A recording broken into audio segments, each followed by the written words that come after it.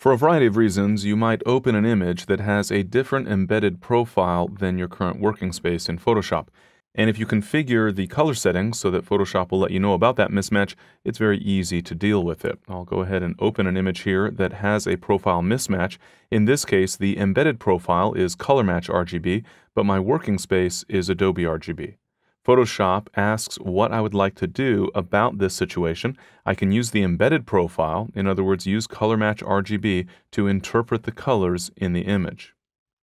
That means I would be using a different profile for this image than my working space, which generally speaking is intended to provide a common color space for working with all of your images.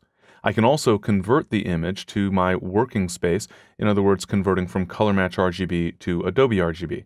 And in most cases, this is the option that makes the most sense because you've established a working space because it makes sense for your overall workflow.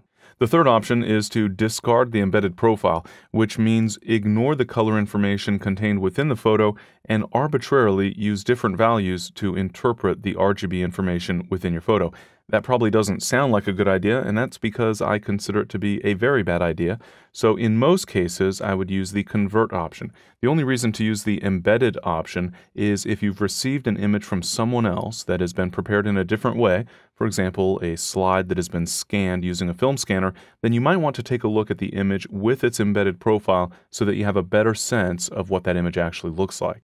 For the moment, I'm going to choose the embedded profile option, not so much because that's what I actually want to do in this case, but mostly because I want to show you one other element of working with a profile mismatch. I'll go ahead and click OK, and the image will open, and you'll notice that in the file name for the tab at the end of the file name and the zoom percentage, we have an indication that this is an RGB image. It's in the 8-bit per channel bit depth mode, and there's an asterisk after that 8 inside the parentheses. That asterisk means that this image has a different embedded profile than your current working space. So just a little alert to remind you that there is a mismatch and that perhaps you want to do something about it. If you decide at this point that you'd like to convert the image to your working space, for example, you could simply choose Edit and then Convert to Profile from the menu, set the destination space to the working space. You'll notice that that option is listed at the top of the pop-up. Of course, I could explicitly choose Adobe RGB as well, but I'll go ahead and choose Working RGB. I'll leave the conversion options set to their default values, and I'll go ahead and click OK. And this image has now been converted from the color space it started with, Color Match RGB, into my working space, Adobe RGB.